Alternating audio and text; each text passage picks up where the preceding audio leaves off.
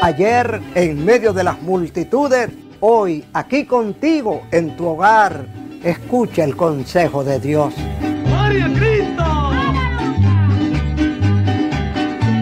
En Mateo capítulo 10, versículos 19 y 20, el Señor Jesucristo le dijo a sus discípulos, no os preocupéis por qué habéis de decir, qué habéis de hablar, porque el Espíritu Santo es el que habla por vosotros.